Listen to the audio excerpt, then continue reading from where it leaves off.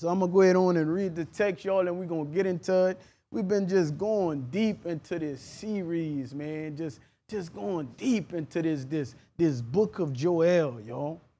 This chapter and chapter two, man. Just just taking our time, y'all, and, and we done covered some ground, man. I was looking back, I'm like, bro, I can't do no recap all the way to the beginning, Mr. Franklin. I'm like, man, we done covered some ground, y'all, and um, we're gonna be getting the messages out, man. We was able to get one out, you know what I'm saying? And um, you know, we're gonna continue, man, you know what I'm saying, doing the work of the Lord. But um, I'm gonna go ahead on and read the text, and I'm gonna give a real brief a brief um recap, y'all. And we're gonna go in. I'll probably recap just what we talked about um last week, y'all, for the sake of time. But I'm gonna read the text. The Bible say in Joel chapter 2, verse 17 through 18.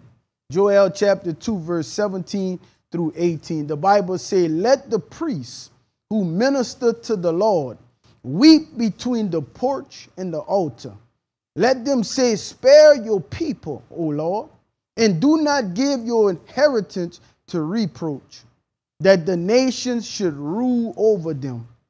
Why should they say among the peoples, Where is their God? Verse 18 Then the Lord will be zealous for his land and pity his people.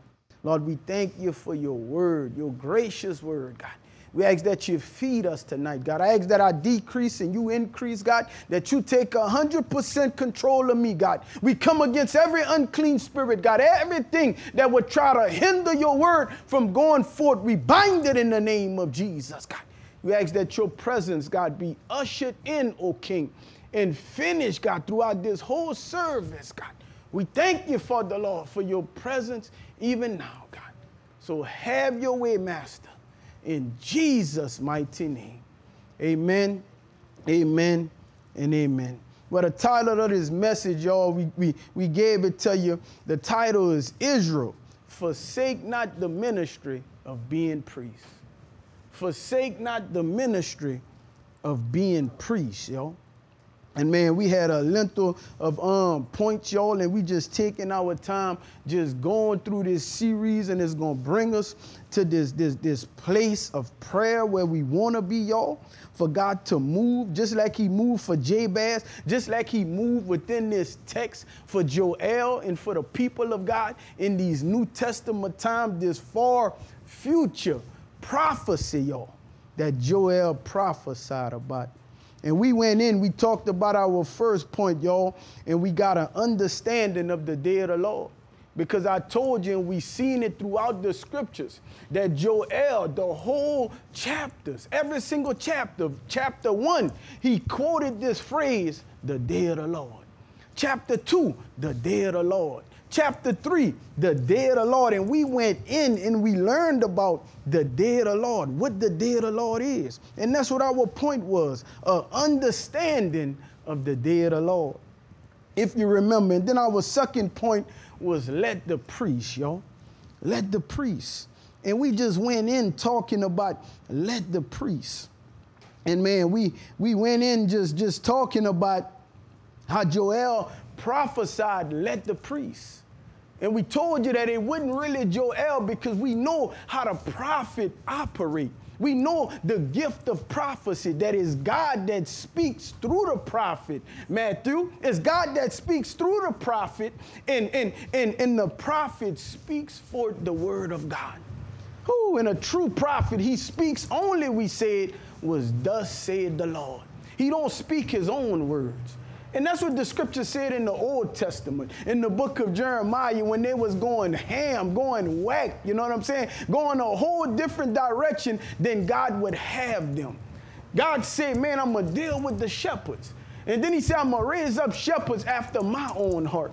And he told them, he said, if the prophets would have seek my face and get a word from me, who not their own word, but a word from me, he said, then the people would have heard and their hearts would have turned.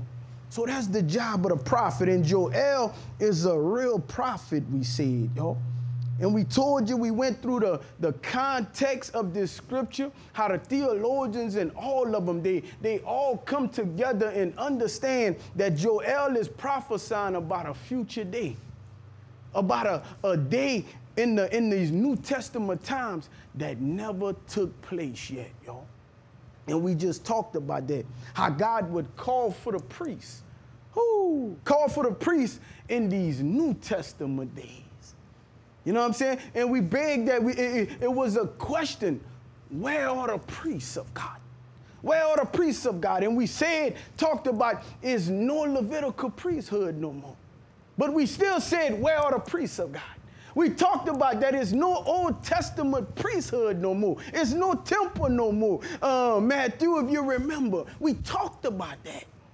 And then we told you, nah, not under the Levitical priesthood. not under the Old Testament priesthood after the order of Aaron, but after the priesthood, after the order of Melchizedek. Ooh, after the priesthood of Christ, y'all, who sits as our high priest. As our high priest, and we just went in about that, talking about that, giving you scripture, just going deep on how Christ, even he was the high priest, y'all. But even deeper than that, we said he was the incarnated Christ that came ooh, before the Old Testament. In the new, in the in, in, in the beginning, during the days of Abraham, he showed up in a form of the king of Salem. He showed up in a form of Melchizedek himself. With no beginning, no end, no earthly father, y'all. A priest forever and that's the priesthood we talking about. Not in the Old Testament days, but in these New Testament time, God is calling for the priests. And we just went in talking about how this message came about, about me weeping one Sunday morning, y'all. And God showing me, begging me. I got up crying, showing me this stench that was placed upon the priest, placed upon this office of the priest, y'all. And that's why it was never picked up. That's why it was never really talked about and made known. But it's a whole prophecy about the priests. Not in the Old Testament time, but in the New Testament time. You know what I'm saying? But we went in and we talked about how the Catholic Church put a, put a stigma upon this office of the priest, y'all. You know what I'm saying? And we just went in about that, man. And I ain't got time to go deep into it, but for, for, for time's sake, man, we started off last time, y'all. We started off last time finishing off this, this let the priest, y'all. Just let the priest. And it was a message that was that was all about, ooh, let me find it, y'all. In Jesus' name.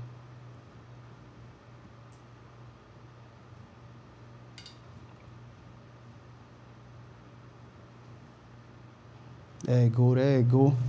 Yeah, we went into this message, man, and it was all about, y'all, us going deep into this prophetic call. You know what I'm saying? And we talked about how it was important, y'all how it was important, this prophetic call. And we said that it was important, y'all, because it was a, a New Testament time, you know what I'm saying? Prophetic call primarily to the priests of Israel, primarily to the priests of the church of the true and living God, y'all. In our New Testament days, in these New Testament times. You know what I'm saying? And we said that it was very important. The first reason it was important, y'all, it be because Joel called unto the priests in these last days, y'all. You know what I'm saying? And, and we said that that that it was not too long afterwards God would bring forth revival. He would pour out his spirit upon all flesh, y'all in chapter 2, verse 7. And we gave you the context and went through, man, looking at John MacArthur and everybody. And then we got to this second reason, and that's where I want to be, y'all. We got to this second reason you know what I'm saying, of why it was very, very important. This call that God makes, y'all, himself unto the office of the priest in these last days. And we went in. This is this is this is what it is, y'all. God called unto the office of the priest, we said. You know what I'm saying? And as God was calling unto this office of the priest, y'all, he specifically was targeting. He was calling the man of God the man of God. And that's what the message was all about. We told you it was kind of like a late Father's Day message. You know what I'm saying? Because this priest, his office of the priest is a is an office that's masculine. It's an office that's tailor-made for the man of God, Shane. And remember, we talked about that, man, just going deep into what this priest is. We gave you the definition, you know what I'm saying? The Hebrew word for this priest was Kohan, y'all. K O H E N, Kohan. And it, and, it, and it meant, y'all, you know what I'm saying? Specifically talk, targeting, you know what I'm saying, in Genesis chapter 18, verse 18, Melchizedek. He was a priest of the Most High God, y'all. But it was also a verb meaning to serve as priest, to do priestly things, y'all. It also means a chief ruler, a owner, a priest, prince, principal officer. And then we got into it as a Hebrew noun that means masculine, yo. And we just went in, man. We even went into talking about the ecclesi- um, ecclesia, the um, the clergy, yo, the ecclesiastical positions of the church, man. Just talking about how God had set an order, yo according to Paul the Apostle. And I just gave you the scriptures this time. I, I brought the scriptures, man, in um, 1 Corinthians. Sound boot, I don't know if I gave it to you, but it's 1 Corinthians chapter 14, verse 33 through 38, y'all. You know what I'm saying? In 1 Timothy chapter 2, verse 12 through 15, and I'm to kind of just summarize it, but it's talking about Paul in, in Corinthians is laying down the order of the church. He's laying down the order of the church, y'all, and he breaks this thing down on, on, on how God had set an order. Because we talked about that, that, that, that, um, that this office was mainly talking about the men, y'all. It was targeting the men of God.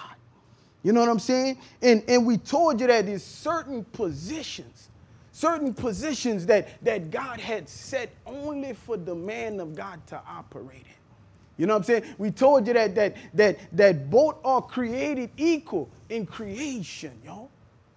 But they are different when it comes to certain positions according to the ability that God made them. You know what I'm saying? And man, I'm gonna just read it. We talked about that Paul, that that that even though church, church has tradition, just like like the, the secular have con, um, tradition, y'all. You know what I'm saying? And sometimes church tradition don't follow truth. It don't follow truth, y'all. It don't line up with truth. So we went deep just talking about how God had set an order, you know what I'm saying, concerning the ecclesiastical positions in the church, y'all. You know what I'm saying? And um, I'm going to just go ahead on and read it since we here. For God, Paul said, God is not an author of confusion, but of peace, as in the churches of the saints as in all the churches of the saints. Verse 33 let the woman keep silent in the church, for they are not permitted to speak. And all he's saying, let the women be quiet. They're not permitted to teach over a congregation, y'all. You know what I'm saying? And that's all Paul is saying because the woman of God is able to teach. You know what I'm saying? But just not over authority over a man. And Paul makes that clear. Even in First Timothy, Paul talks about, he said, permit a woman to teach or to have, permit not a woman to teach or to have authority over the man, but to be silent. For Adam was found first by God from, from the earth and Eve. Talking about Genesis chapter 2, verse 7, yo. And it was not Adam who was deceived, but the woman who was led astray and fell to, into sin. And all that scripture is saying is that the man, y'all, he wouldn't deceive. he willfully sinned. Ooh, you see, that's why Satan never came to the man in the first place. The man never was, he never was beguiled, he never was deceived. He willfully sinned. But the woman was tricked. The woman was deceived. And that's what God is saying. And God broke this thing down, you know what I'm saying? And I gave you an example through Deborah and Barak in the book of Judges. And Deborah, y'all, was a, she was a, she was a judge over all of Israel at that time. But even in a position of being a judge, you know what I'm saying? She understood the positions that God set. You know what I'm saying? So she called out to Barak to lead them out in war, yo. To lead them out in war. You know what I'm saying? And that was brilliant of Deborah to understand that even though she was a position higher, she understood that it was certain positions that she couldn't operate in, that was delegated and shaped for the man, yo. And she understood that. We even gave you a quote from Pastor, man, just going deep into the ecclesiastical um, positions of the church, man. You know what I'm saying? A quote that blessed my life, I told you, man. You know what I'm saying? And I'm trying my best not to go so deep into it, y'all. But y'all haven't been wanting to preach it again, man. So that's why I'm kind of like, you know, but um, he gave a quote, man, and it blessed my life, y'all. He said, God is concerned with getting us to the end goal was doing the things that we supposed to do, Nick. You know what I'm saying? Whether the woman or the man, you know what I'm saying? Because there's certain positions and things that men not supposed to operate in according to the scriptures. And he said, he said, God is concerned with us getting to the goal, y'all, but he's also concerned with the way in which we get there.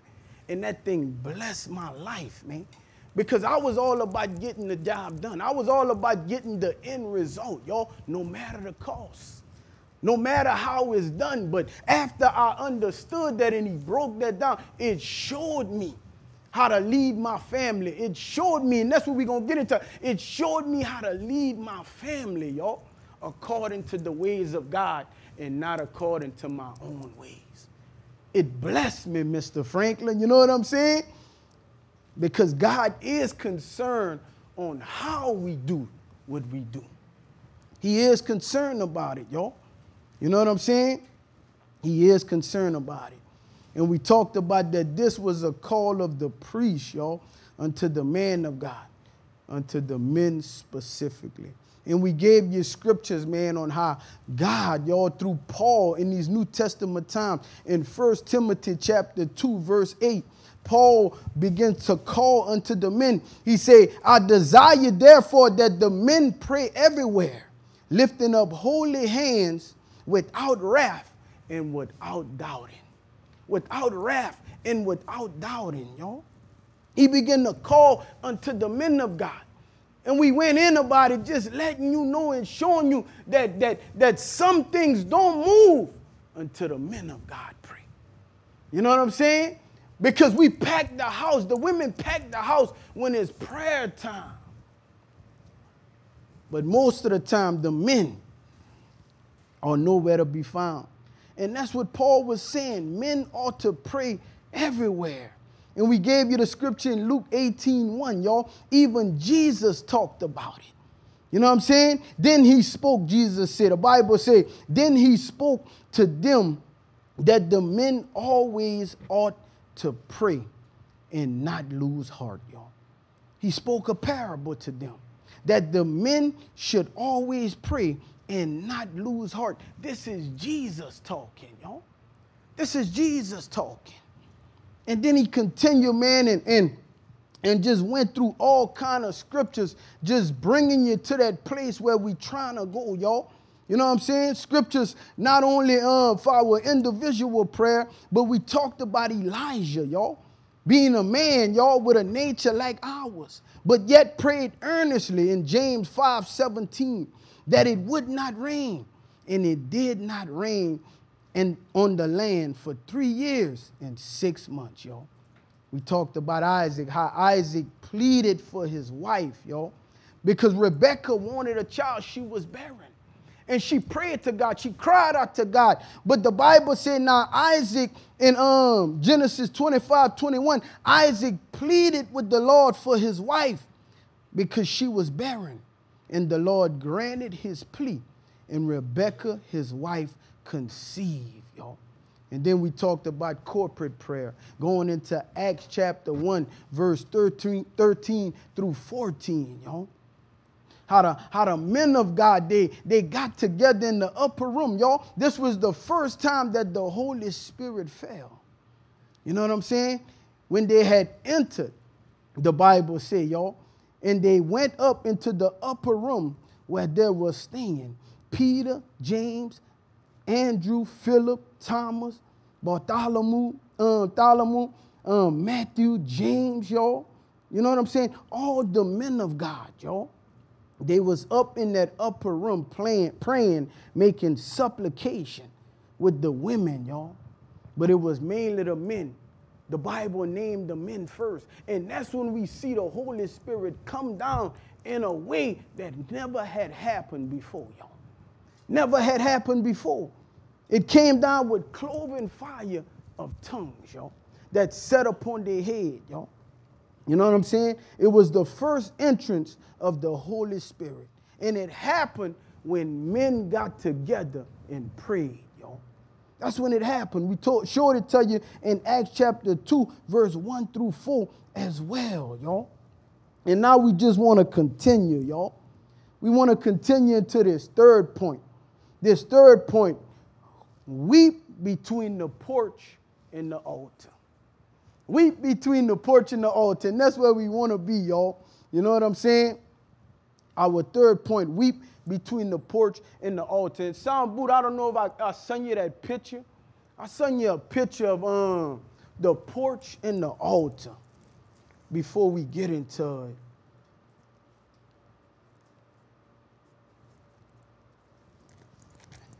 And it talks about it in 1 Kings chapter 6, y'all. Sound Buddha, I don't know if I gave it to you. I sent you a picture of it, y'all. But if you don't have it, y'all, it's okay. Um, the that's it right there. Ooh, that's it right there. Thank you, Sound Buddha. I, I was looking for it right there. That's it right there. And what I wanted y'all to see, y'all, it says, weep between the porch and the altar. Right between the pulses, the brown pulses, porch, um, posts is the porch, y'all.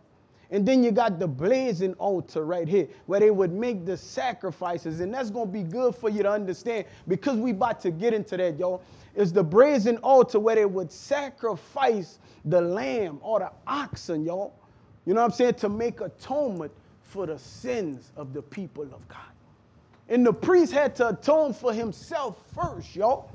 And that's the, the brazen altar. But but the porch is right between and and and, and um the altar, the incense altar is right before the the um the veil, y'all.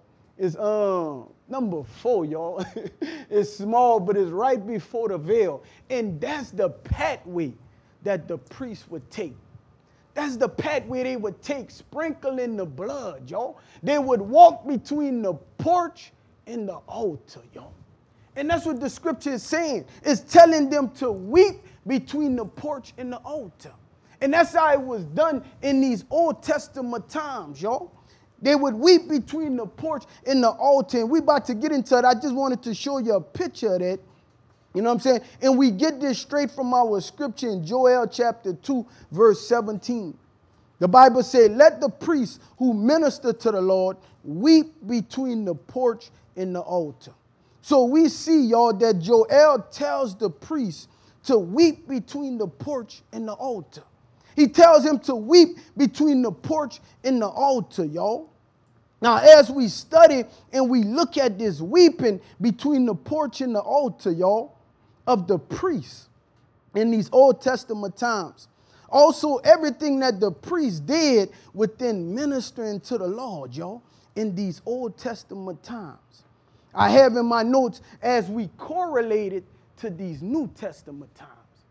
As we correlated to these New Testament times, it all correlates and symbolizes as an act of prayer, y'all. it all correlates and symbolizes as an act of prayer, y'all. This, this, this weeping between the porch of the altar. This weeping between the porch of the altar of the Levitical priesthood in these Old Testament times. In every single thing that they did in order to have service within the temple, y'all. You know what I'm saying? Every single thing that they did. You know what I'm saying? Including the sacrifice offerings, including the offerings of incense, y'all. Everything that they did, y'all. You know what I'm saying? I have in my notes, y'all, at the root of it, at the root of it, it was all about prayer. It was all about trying to communicate with God. It was all about trying to pull on the heart of God, y'all. It was all about getting in position, y'all, getting in right relationship with God. It was all about getting in the right posture before God, y'all. And it symbolizes prayer. It symbolized prayer, y'all. This weeping between the porch and the altar. And I have in my notes King David, y'all, the man after God on heart, y'all. The one who understood the heart of God, Shane. You see, David was on another level, man. David not only knew the law, but he knew the intent of the law. He knew the heart behind the law. You know what I'm saying? He knew the intent of it. It's just like us knowing the law that we don't go on red or knowing the law of abiding by the speed limit, y'all. But the heart of the matter, the intent of this law is what? Is not to get in a crash. You know what I'm saying? So sometimes you might have to slow down, Matthew, to abide the principle of the law. Even though you're going below the speed limit, you slowing down not to get in a crash. and the principle of the law is greater than the law itself, y'all. And that's where a lot of people go wrong. They don't understand the intent of the law, they don't understand the heart of God. And that's why David was so much on another level in these Old Testament times. He understood God better than some of the priests. He understood God better than a lot of the prophets in those days, y'all. You know what I'm saying? And here we going to see in Psalms, Psalms chapter 141, verse 2, y'all.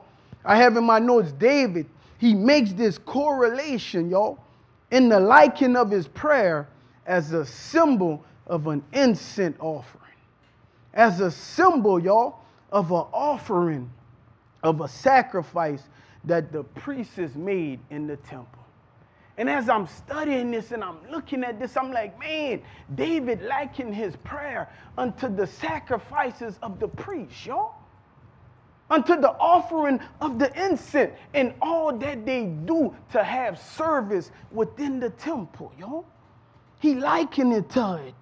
And we read it. Look what look, look what David said, y'all, in his psalm. He said, May my prayer be set before you like an incense and he's talking about the offering of the incense, y'all, that the priest would make. The priest would go day and night, y'all. You know what I'm saying? And we're going to get into it. We're going to look at commentary because service, it went from day unto day, y'all. Even evening service. You know what I'm saying? And it was all about appeasing God, all about trying to communicate with God, trying to call unto God, y'all. And David makes this, this correlation. He makes this symbol of his prayer. You know what I'm saying? He pictured it as a symbol of an incense offering, y'all. But also he say, my, my, my uplifted hands like the evening offering. Who talking about sacrificing a lamb, y'all? You know what I'm saying? When you go back and study it, and I'm reading this and I'm like, man, David symbolizes his prayer, y'all, as the Old Testament offering of a sacrifice of a lamb, of an incense offering, y'all. David symbolizes his prayer in that fashion. That's how important prayer is, y'all. And not only that, we see Jesus, y'all. I have in my notes, who had all knowledge, y'all, of every single act of service that took place within the temple in these Old Testament times. You know what I'm saying? Jesus, y'all having all knowledge in Matthew 21 13. And it's going to be more of a, of a, of a, of a scriptural basis message, y'all, because we want to understand this before we get into this prayer, y'all. Into this prayer that we're going to get into. You need to understand how deep is prayer. This thing is fashion. This thing symbolizes all that the priest did in the Old Testament times, in the Levitical priesthood. You know what I'm saying? And as I'm studying this, I'm looking at this, and it, and it, and it brought me to the scripture of Jesus in Matthew 21 and 13, y'all. Jesus having all knowledge of everything that took place within the temple. Look what Jesus said. The Bible said, and he said to them, It is written. And talking about it was written in um in Isaiah was the scripture quoted in um Isaiah 56, verse 6, I think, y'all. You know what I'm saying? But to keep going, Jesus, you know the scripture. Jesus said, My house shall be called a house of prayer. But you have made it a den of thieves. He said, My house should be called a house of prayer, but you have made it a den of thieves, y'all. You know what I'm saying? And Jesus understanding all that took place. Jesus coming to fulfill the law. He understood all the offerings that the priest did. He understood, y'all, all the incense offerings. He understood every single act of service that took place within the temple, y'all. And Jesus correlated, he brought it all down to his house being called a house of prayer. A house of prayer. You know what I'm saying? And it's important, y'all. It's important for the man of God. It's important, y'all, for the father. It's important for the priest of his own house. How much more the priest of the house of God, who ministers to the Lord, who take care of everything in the house of God, y'all. That's how important prayer is.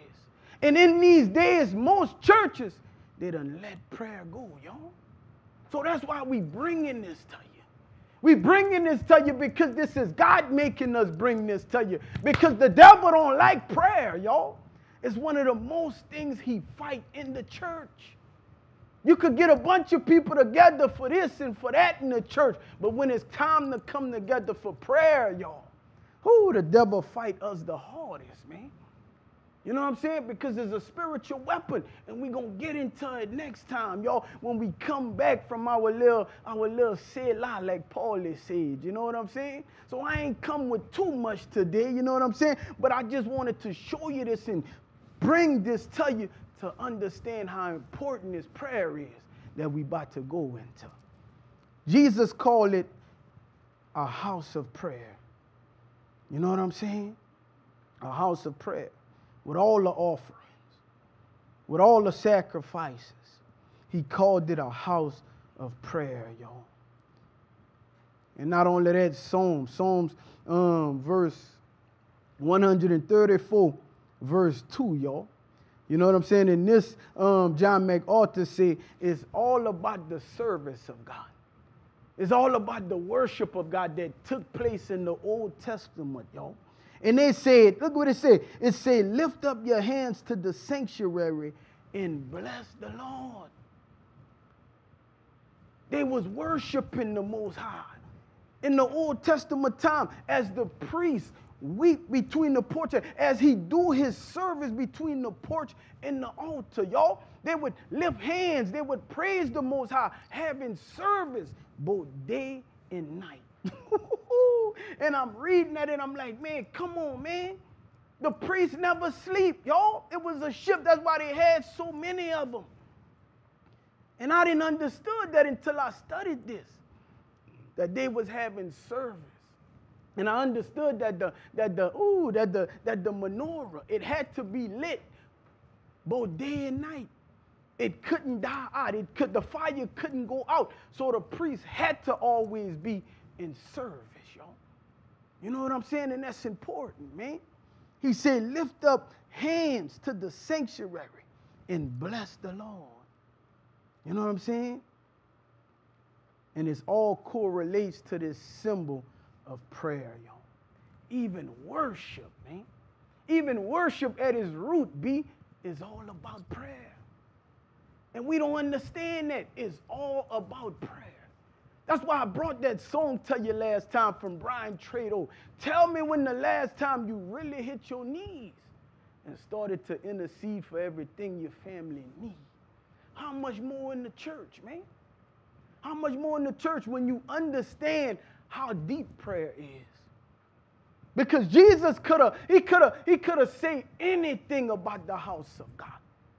He could have called it anything, but he called it a house of prayer.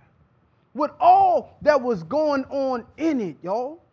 And I got some commentary for you. Benson commentary talks about the same thing, y'all. Benson commentary, look what he says. You know what I'm saying? And it's, and, and it's going to bring us into the place where we want to be.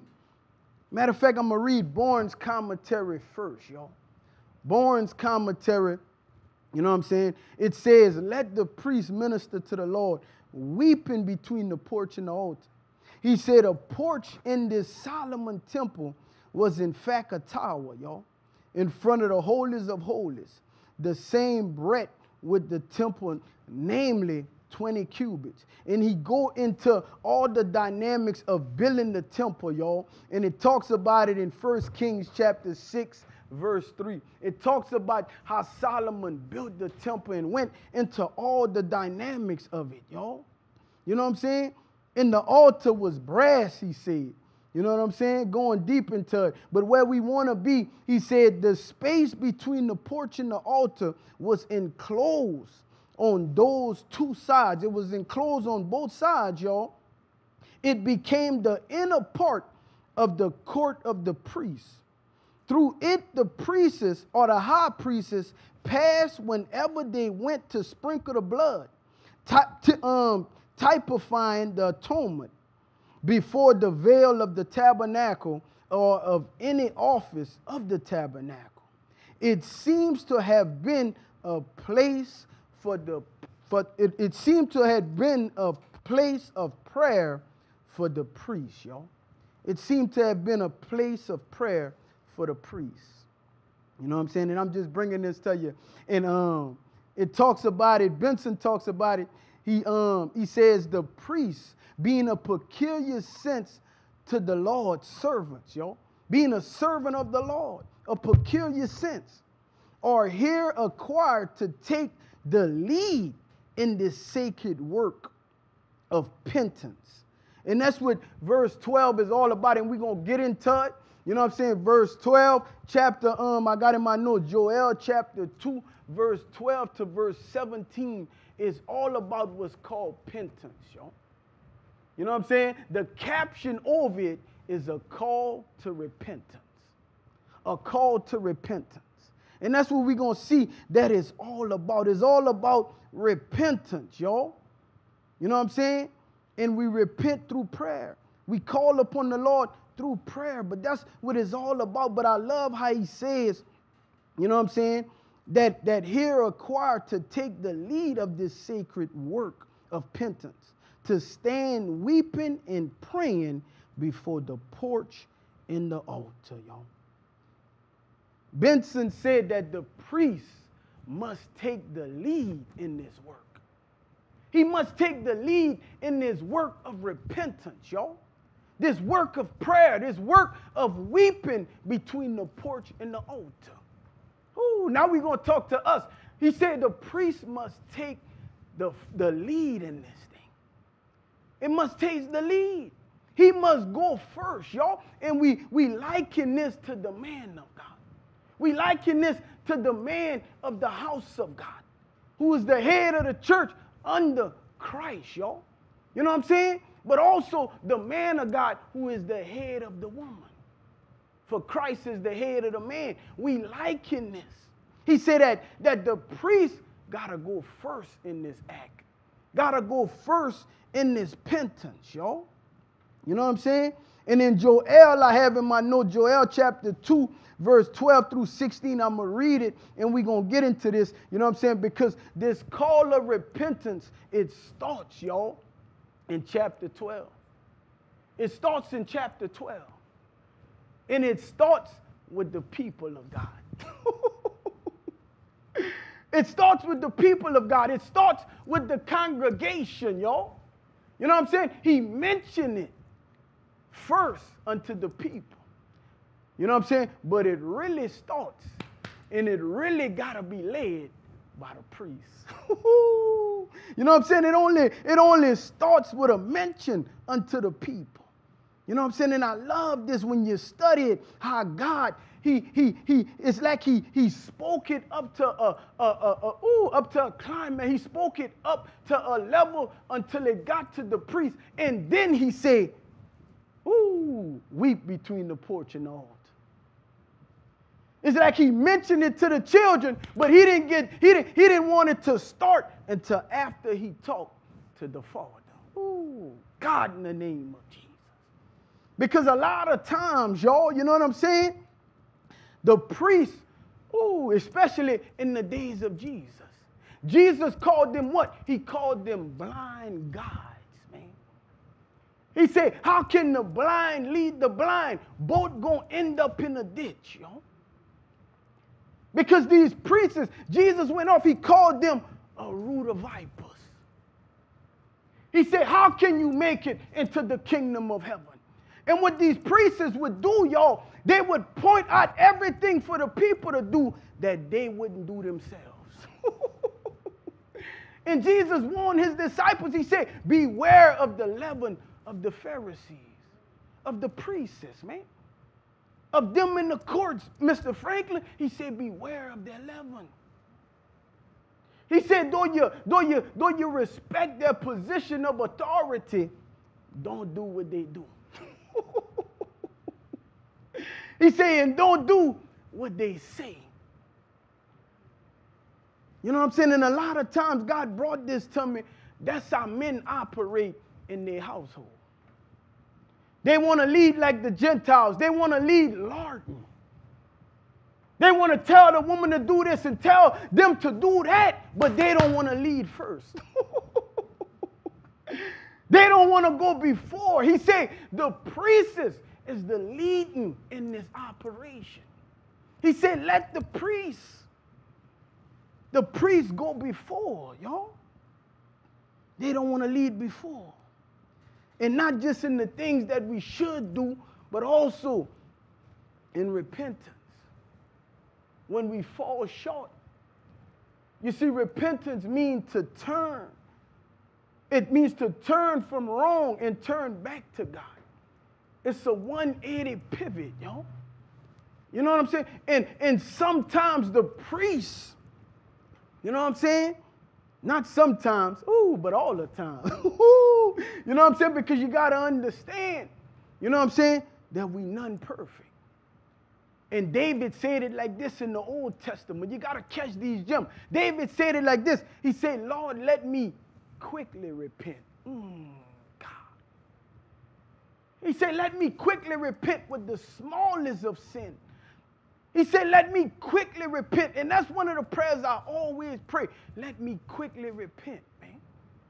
And me lead my family, y'all. I not only lead my family in the things of God and doing right, but I lead my family also when it's time to repent.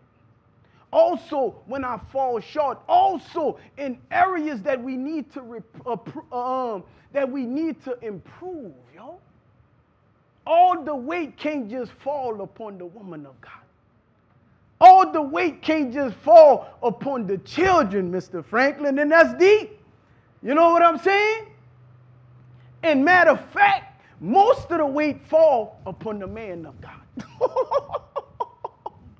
you see, when God is dealing with them with repentance, God gonna say some things to the congregation, but it's like he gets serious when it gets down to the priest. Ooh, God would always call out the priests in the Old Testament. He would always call out the priests. He would deal with the priests first. Because as the priests go of the house, goes the people, man. You know what I'm saying? The priest is to lead first. Let me read this thing. Look what it says in uh, verse 2. Now, therefore, says the Lord, turn to me with all your heart, with fasting, with weeping, and with mourning. Verse 13. So rent your heart and not your garments. That's what God tell the people. Rent your heart and not your garments. He said, Return to the Lord your God, for he is gracious in mercy, slow to anger, and of great kindness. And he relents from doing harm. He said, Rent your heart and not your garment. Because this is so deep, man. You see, people, y'all, is, is who God with the wisdom of Satan. Who God with the wisdom of Satan, y'all. People know how to speak the right things. Oh God, this is. People know how to act the right way. Hmm. Let me stop right there because it's not just speaking and acting. People know how to speak humble. Oh, God. And they know how to act humble. But it's not in their heart. All they're doing before God is rending their garments. Mm. And they never rend their heart. And that's scary. For somebody to be able to, to speak humility, speak humble. For somebody to be able to act humble, y'all. But yet, humility is really not in their heart.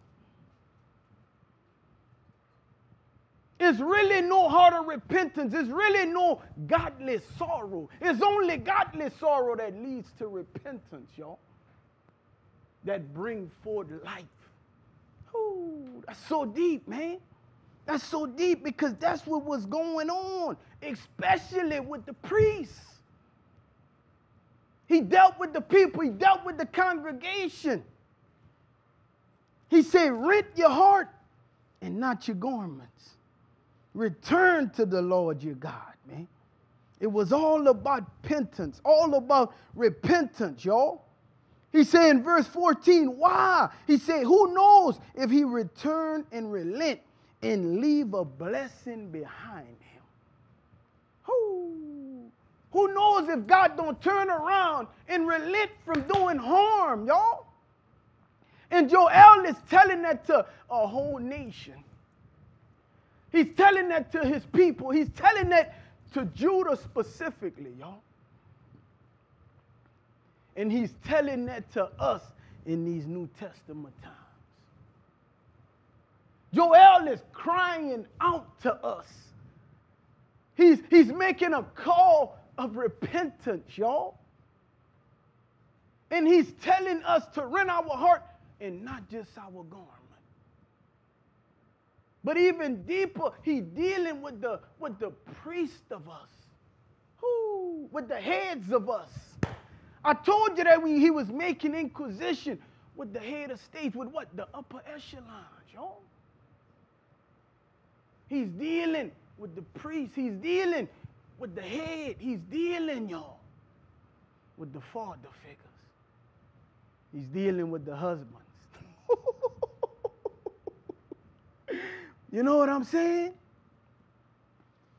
Because we got to lead in this thing in every area. I was telling that to my wife. In every area of our lives, we got to go before, man. We got to go before. And for them that will be husbands, we got to go before. And I wanted to put a scripture in the, um, Ephesians when it talks about wives submit to your husband. But that scripture starts in verse 521 where it says, Submit ye one to another. We don't want to hear that, that the men going to have to do some submitting as well. Woo, in, in, in areas. And we talk about, we talk about, you know what I'm saying? That that word love is only for the woman, like the woman only need, need love. But in the book of Titus, it tells the women to do what? Love their wives, love their husbands, man. And then what it is, y'all, is all a word of submission. We submit to God, but we got to submit in areas to one another. You know what I'm saying? And that's the call. We got to lead in all these things. You know what I'm saying? And sometimes I got to go to my wife and be like, wife, I'm sorry. I got to go to my children and be like, I'm sorry. Come on, man. we to keep it real up here, man. You know what I'm saying? And that's a real leader, Nick. To be able to repent, to be able to say I'm wrong, that's a real leader, man. That's a real leader. Because I was listening to that song and she said, Ooh, how she said that? She said,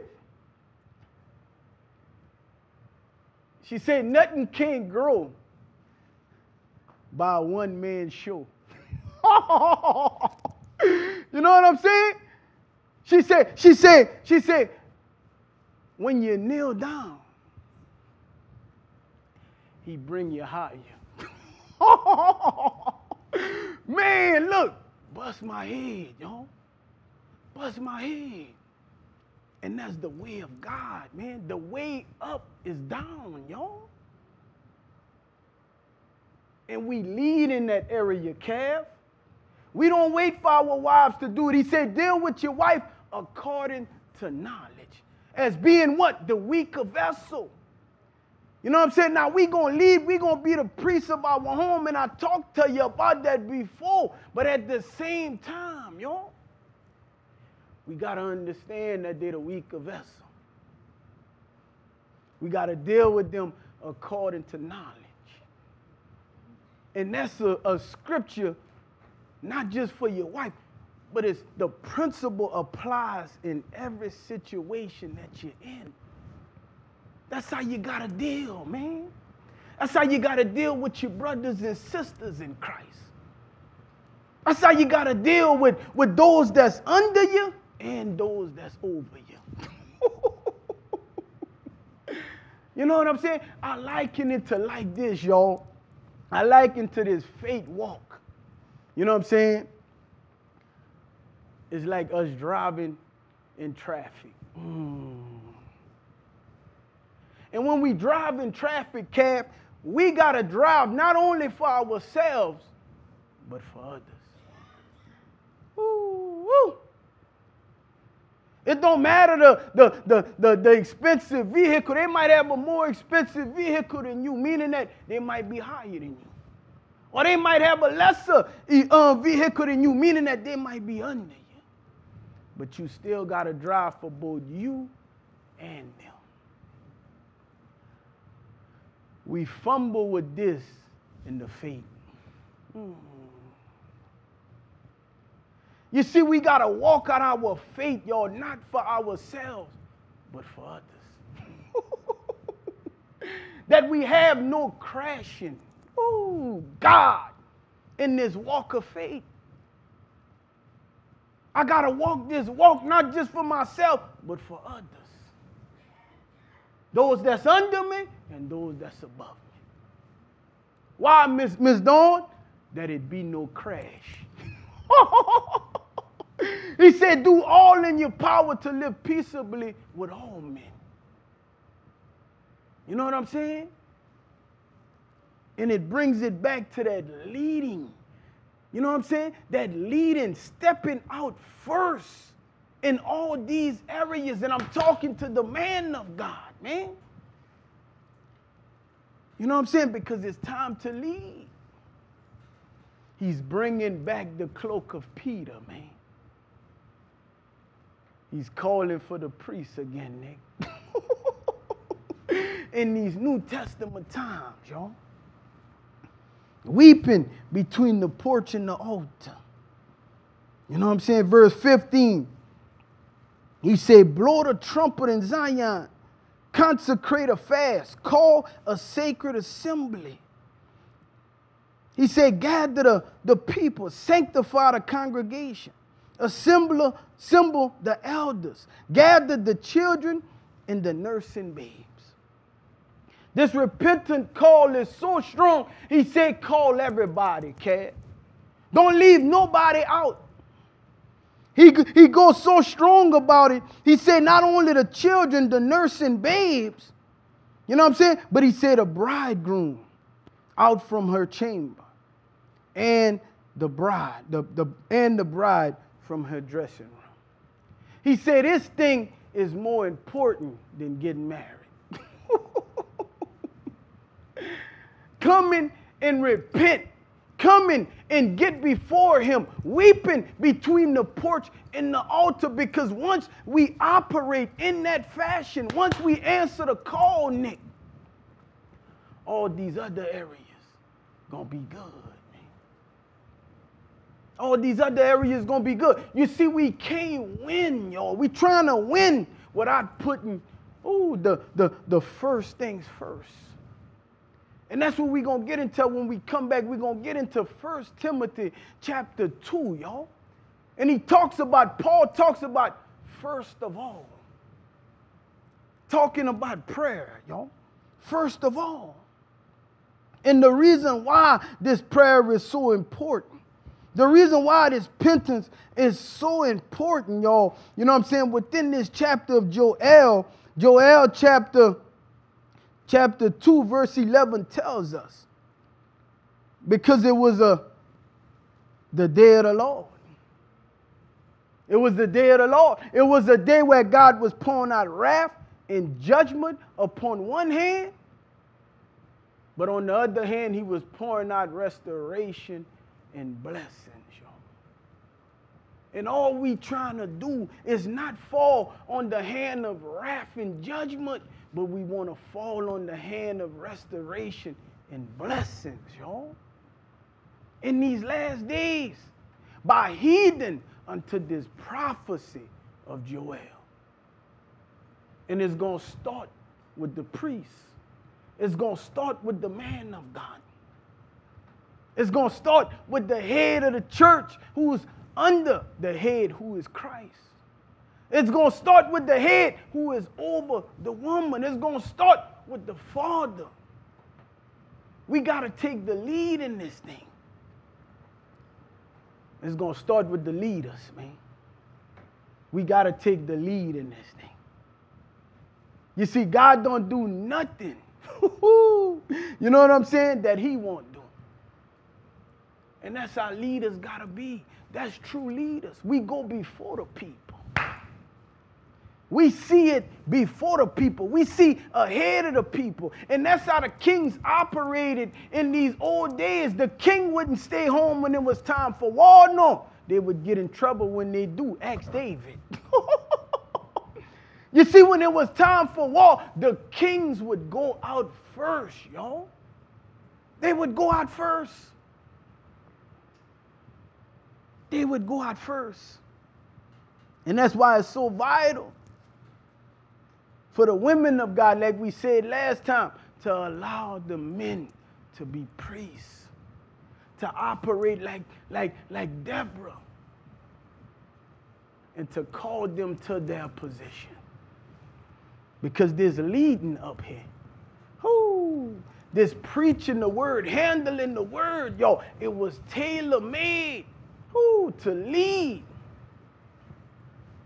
by the men of God because we leading into war, y'all. You got to understand that it's a battle.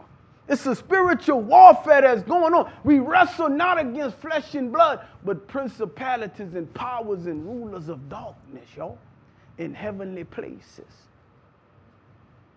It's a war that's going on, man. You know what I'm saying? And we're gonna get into that when we get into this this this text. And um, you can write it down, man. When we come back, we going deep into First Timothy chapter 2, y'all. Verse 1. And we're going to deal with this, therefore, we're going to deal with this good fight of faith. Where Paul said, first of all, prayers, supplications. Oh, God. You know what I'm saying? And we're going to deal with all these elements of prayer. I wanted to get into it today, but I'm, God held me back. He said, nah, man, you're going to just give, just give them an understanding of the weeping between the porch and the altar. And if you know me, it was hard for me because I like to go in, Miss Tara. I like to go in. You know what I'm saying? But God know what he doing. God know what he doing. Ooh, he getting us ready, yo, to do some mighty things in Dallas, man. Some mighty things in Dallas, yo. Ooh, man.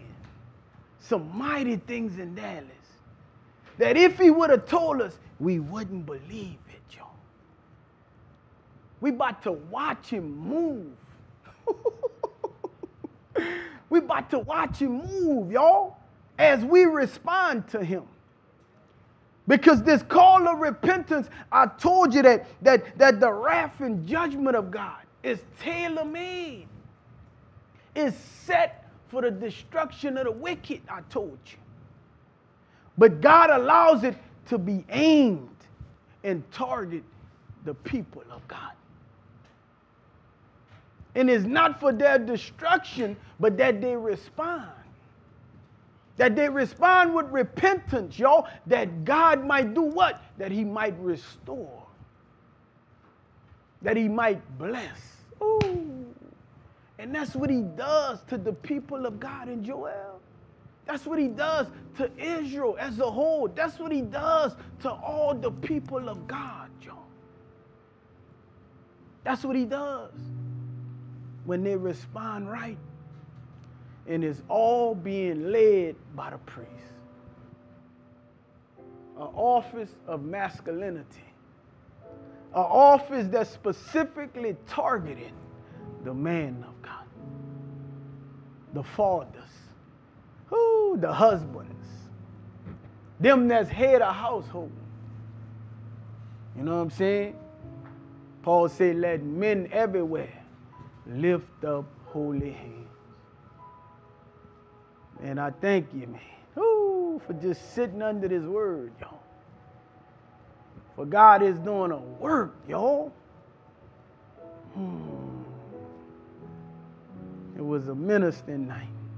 Lord, you ministered unto us, Daddy. We thank you for your word, God. Just taking our time and just learning, God, the ways of the priest, God going into the Old Testament, looking at the sacrifice of offerings, God, looking at the incense of offerings, looking at the porch of the priests that was built by Solomon, God. That the priests, God, they was called to weep between the porch and the altar, God. Weep in prayer, God. Weep in standing in the gap for the people of God. And it's a call unto the man to weep in the gap for his family, weep in the gap for his children, to lift up holy hands in prayer. Because the man of God find the time to do everything else but pray. And I know we gotta provide. Ooh, dang. I know we gotta provide but it's the Most High that provides through us. He says, Seek ye first the kingdom of God, and all these other things going to be added. When we put first things first, y'all, we get first, first things first as results from God. And it's beautiful to watch me. Ooh, it's beautiful. So, y'all, I just come before you and just ask that you bow your heads right now. as we just let them keys minister to us. I'm just flowing because it's just so sweet. I, I feel his presence, y'all, in the midst of us right now. Smiling.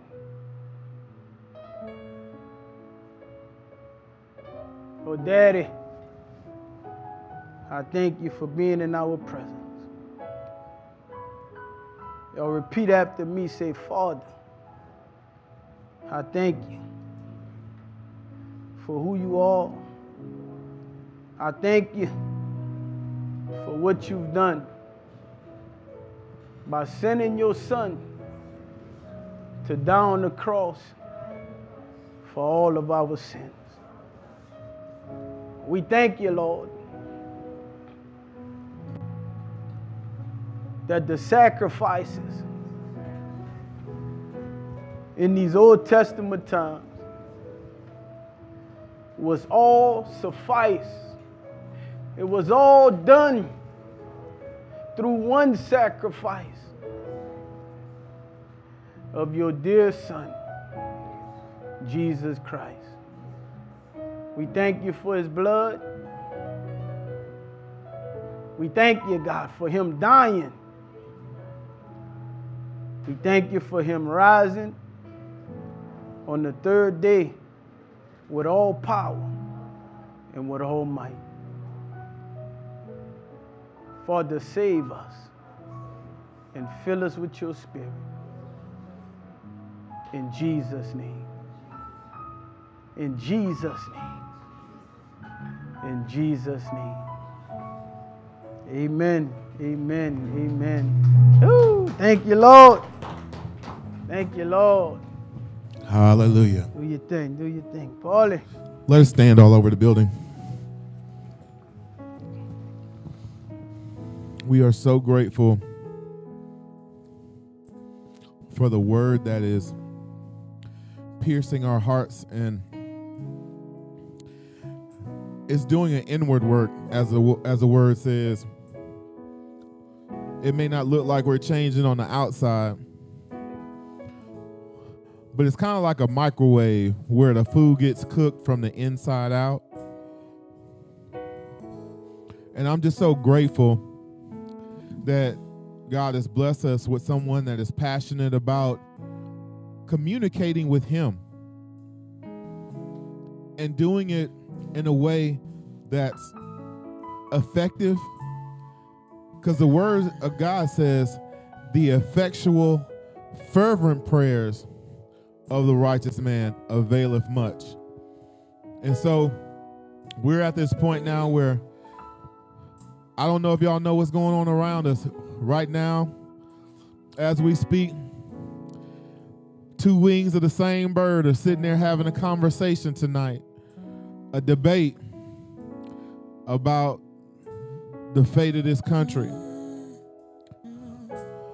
But I know somebody that's pow- more powerful than those people in that room. And what we need to be focusing on is not how we're going to cast our vote, but how we're going to communicate with a holy God.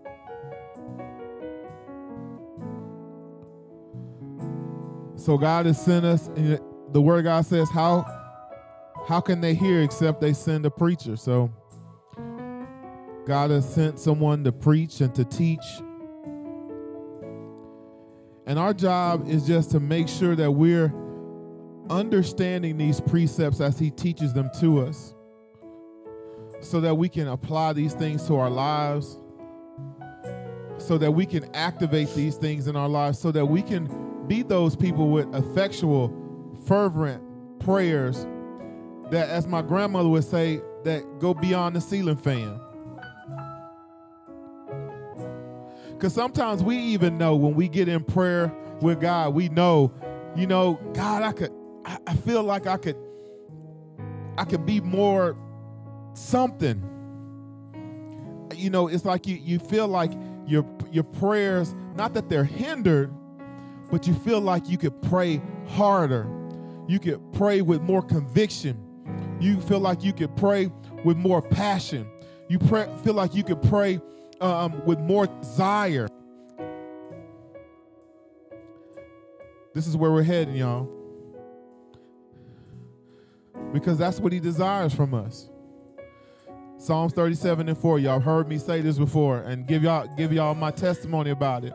It says, Delight thyself in the Lord, and he shall give you the desires of your heart. When you delight in the things that he delights in, and what does he delight in? Don't you like getting a call from somebody that you love? Don't you like getting, you know, somebody reaching out to you and saying, Man, I was just thinking about you? Don't you don't you don't you love when somebody says, Man, I love you. what can I do for you? You just just on my heart. That's the same kind of communication the Most High wants from us. So tonight, I love you. I know Brice has already prayed and we're gonna get up out of here. But I just want y'all to understand something simple. God loves you and He wants to have a relationship with you.